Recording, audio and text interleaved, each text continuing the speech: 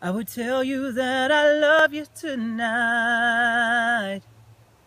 But I know that I've got time on my side. Where you going?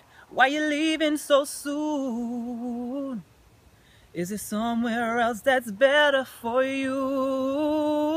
What is love if you're not here with me? What is love if it's not guaranteed? guaranteed what is love if it just up and leaves? What is love?